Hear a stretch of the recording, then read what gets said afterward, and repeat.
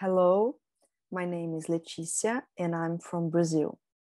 Today I'm going to present to you an excerpt from my doctoral research in education, which I'm carrying out under the supervision of Professor Fabiany de Cássia Tavares Silva, with funding provided by CAPES.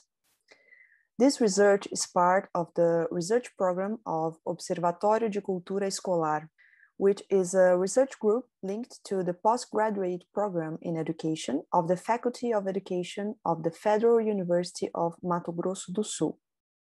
The proposal of this doctoral research in education is to study the formation of popular musicians in higher education in music.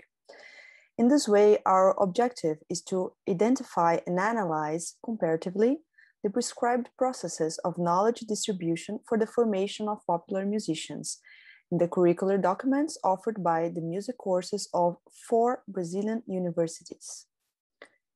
Based on studies in the field of critical education, close to the work of Pierre Bourdieu and the sociology of curriculum, especially the work of Michael Apple and colleagues, we operate with the premise of curricularization as a political issue, whose expectations is to produce certain forms of conduct and experiences in scholar field.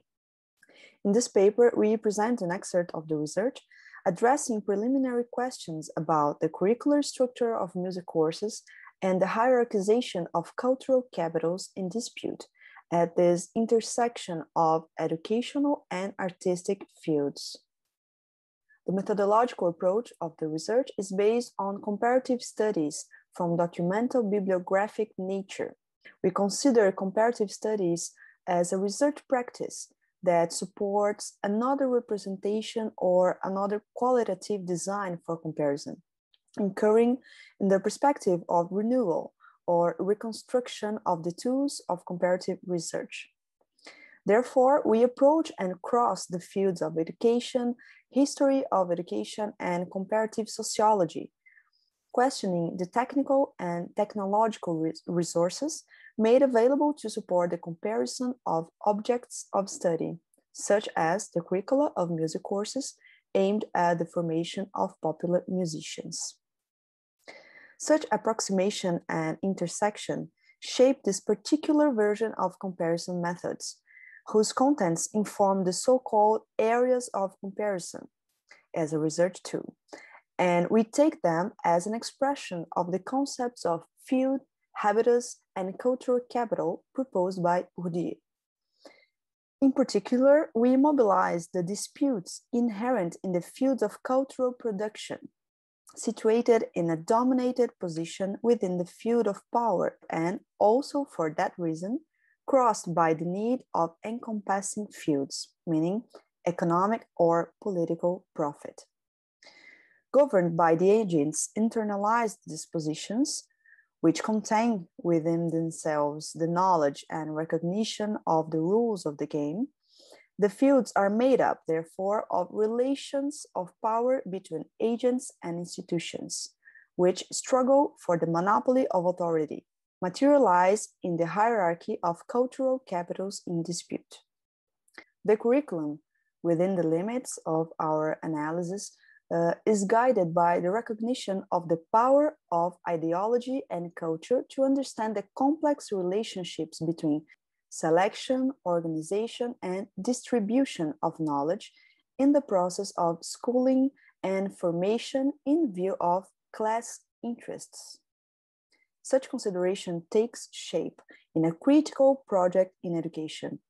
Here, fundamentally centered on the examination of the links between curriculum, music courses, and the formation of popular musicians, whose structures and processes are built on inequality and social structure, on the one hand, and in the development of alternative forms of access to knowledge that represent an overcoming of the existing conservatorial forms on the other. For this, we operate with the decomposition of the permanent problematic of erudition, of the conservatory as a referent, as promoters of the maintenance of differentiation in the guidelines of the formation of classical and or popular musicians. In Brazil, universities' musical practices are based on the implementation and conservation of the conservatorial model, responsible for the institutionalization of Western European classical music as valid knowledge. It's not too much to locate Europe as the model of civilization and particularly producer and product of the highest musical culture, not limited to the universe of the arts. The European model became an intrinsic reference to the discourse of modernism itself. This conservatorial model has been perpetuated, and even today, curriculum structures of higher education in music are dominated by classical music. The legitimate character of erudite knowledge refers to an academic perspective of knowledge, which takes the dominant knowledge as given, selecting them based on the logic of academic disciplinary knowledge and the idea of canon.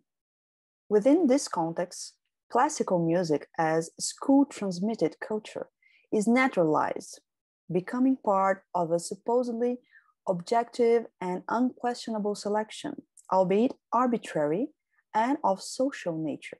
The curricular structuring process, by defining what is considered legitimate knowledge, involves, in the words of Michael Apple, complex power relations and struggles between identifiable groups.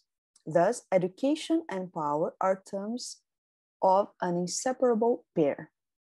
Also, according to Apple, cultural capital, before being declared legitimate, goes through a complex set of filters and political decisions, thus affecting the knowledge that is selected and how it presents itself as it is transformed to be taught to students.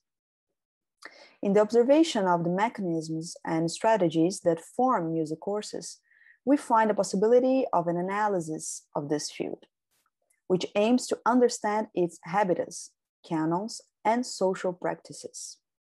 In this context, the hierarchization of capitals, by privileging the heirs of dominant musical practices, reaffirms social privileges, allowing a glimpse of a picture of symbolic violence, that is, the perpetuation of cultural inequality within the university.